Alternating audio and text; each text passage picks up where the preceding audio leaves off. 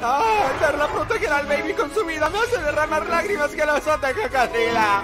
No puedo dejar de llorar al verla sufrir. Proteger al mundo de la devastación es lo que hace el equipo Rocket.